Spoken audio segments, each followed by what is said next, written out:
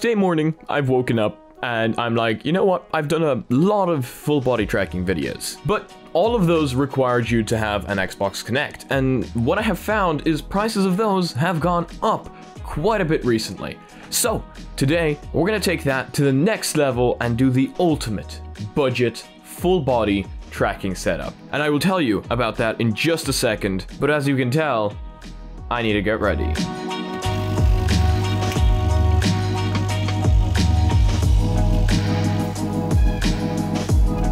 So, how are you all doing? I hope you're all doing great, and I hope you're all staying safe. Today, we are going to accomplish full body tracking using nothing but some paper, a tissue box, and Driver 4 VR. And of course, this goes without saying, this can only be done on PC, but it's still really cool, so you might want to check this out. Also, I know this question is going to be asked, so let me just answer it straight away. Yes, you can actually use this on the Oculus Quest 1 and Oculus Quest 2 if you connect your Oculus Quest to your computer using the link or virtual desktop. As long as you're using Steam VR, this should actually work with any Steam VR headset, which also includes the Quest 2 and Quest 1 what we are going to be doing is we're going to get the camera to recognize some AR stickers that we are going to put onto tissue boxes that we are then going to stick onto our feet. That makes sense? I mean, if it doesn't, I don't blame you. However, I'm gonna try and make it make sense as easily as possible. So let me explain. Driver 4 VR has a feature that is currently in alpha. It basically allows you to print some AR stickers, make a cube out of them, put it onto your legs, and allow those legs to be tracked in 6DoF in VR. Yeah, it's slightly complicated. However, this is something that works with just a webcam. It is mentioned that it works much better with a Kinect or PS Eye. However, this is what we'll be using because a webcam is something pretty much everyone has nowadays. And even if you don't, it's certainly much cheaper than a Kinect. However, Greg is I believe what he's called in the Driver 4 VR video, does show you that you can actually buy a PS Eye for like 7 euro. So again, certainly much cheaper than a Kinect. So I'm gonna just place this up on top of here, connect it, and let's get started. Okay. Hey, setting up device. Mm. So now that you have this done, you might want to try Driver 4 VR. I think there's some sort of trial period, or at least maybe there was when I was getting it, but it is overall a paid application. Then, once you have Driver 4 VR downloaded and installed, it's a very simple ins installed procedure. I won't be going through that. You just click the exe, install it. You're going to want to download some AR markers. Now, from what I have seen, it doesn't matter which AR markers you actually download as long as they're just AR markers. So I need to resize these to fit my tissue box now. So I'm gonna throw this into Photoshop, get the exact dimensions, and we're gonna go print them. Okay guys, I've got the AR stickers here. And again, a few of you may actually know what these are from, but uh, yeah, that's all I'm gonna say.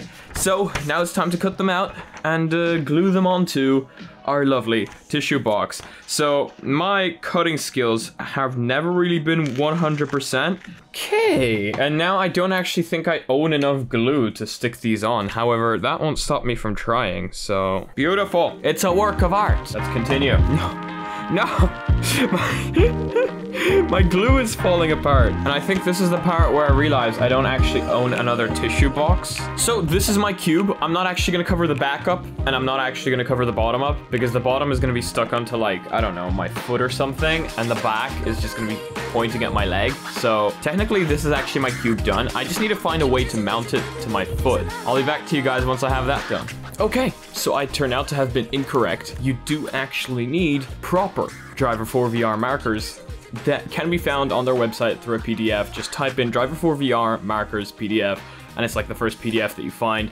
This is what they look like, and as you can see, I've glued them to my cube, and I've mounted a shoelace at the bottom to mount it to my leg. So before we can hop into VRChat, we do need to calibrate it inside Driver 4 VR. This itself is actually pretty simple. You just go into body tracking, select markers as your tracking type, and then underneath that, click camera markers. There, you can actually just show these to your camera, wait until they calibrate, a little thing will show up saying calibrating, and once they are calibrated, now, we can hop into VRChat. So showing you exactly how to do it, you select camera markers under body tracking, then you start up driver 4 VR, then you actually just move your mouse to camera marker settings.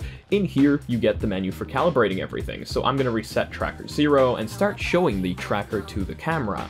As you can see, this isn't the nicest procedure to have to go through, but at the very bottom, you can see it is slowly getting calibrated.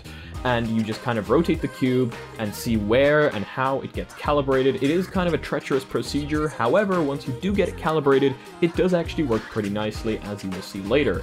So you can see me trying to rotate the cube here and getting it to calibrate the different sides, and I have marker 1 and 3 currently calibrated, and this is the last one I actually managed to calibrate.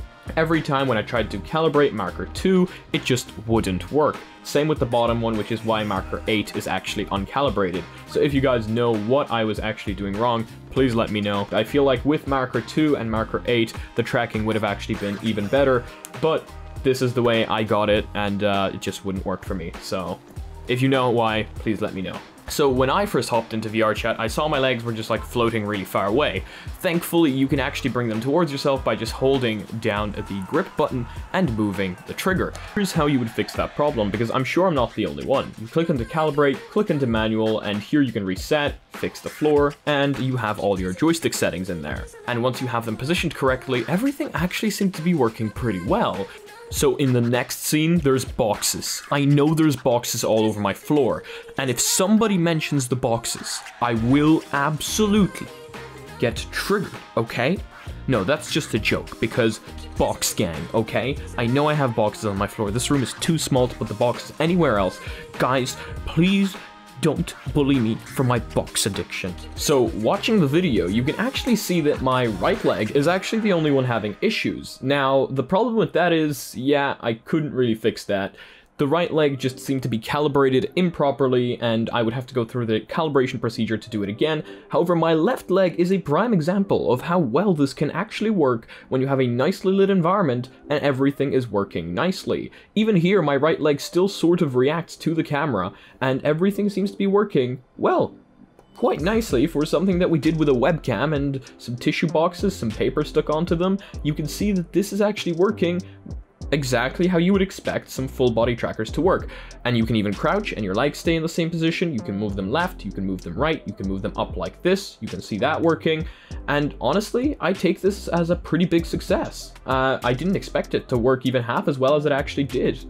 Now this camera does only run at 30 FPS and it is not the highest quality.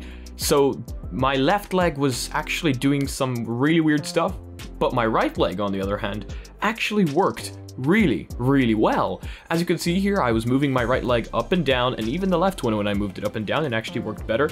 I think partially this was because of my mounting mechanism, where they just kept getting lopsided and falling over. Uh, if you guys have a better mounting mechanism, this might actually work better, considering this is all just budget this actually worked pretty well. You can move your leg up, you can move your leg down, you can move your leg forward, back, and the camera would actually recognize it pretty, pretty nicely. So I think I was pleasantly surprised, to be honest, because all the pain I went through of actually managing to get the camera to even show up in Driver 4 VR, because I had a bunch of virtual cameras installed, you guys shouldn't have that issue.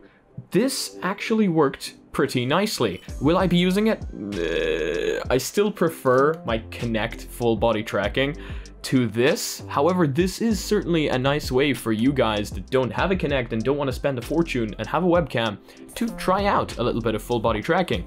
And if your camera does 60 FPS instead of 30, you might actually have a much nicer experience because this thing only does 30 FPS, which means of course tracking will be slower. And if you have a PS Eye camera, even better. Now with the PS Eye camera, you can also do color tracking. So if you guys can somehow get some bright colors onto your body, even better because it seems to do a pretty damn good job tracking colors. So yeah, I mean, this is, it's just another cheap full body tracking video that I decided to make. Considering you guys really like those, I'm not surprised. Full body brings such immersion to the game, and to be completely honest with you, I cannot wait for full body tracking to actually become cheap, because currently it's mostly Vive trackers, and those are expensive, and the Kinect uh, is ideal until you need to turn around, then you find to have an issue. So this is a nice way to start yourself off on full body tracking. It's not the best experience you could be having, however, it is an experience. And I guess if you guys made cardboard shoes and put one of the markers on the back of the shoes, you could also turn around. Again, this is not the best mounting mechanism. So let's conclude. This is a nice way to start yourself off, to kind of try out full body if you've got a webcam and if you have Driver 4 VR. Is this something that I would be permanently using? Uh, no, not really. I still prefer my Kinect more, but yet again, if you guys want to start off, a little tutorial to get you started. So, if you guys... Oh, so if you guys enjoyed today's video, please give it a like. If you guys disliked it, I guess this button works too. But please tell me why down in the comment section below. If you guys want to be notified... If you guys want to support the channel in any way, shape, or form, merch down below, mysticlestore.com. And if you guys want to join the community, we have a Discord down below. We also have a Reddit down below where I want to see you guys posting your spice memes. And if you guys want to be notified about future content coming up on the channel daily, make sure to smack that subscribe button with your forehead, ding my bell, and see you again in the next video. Peace.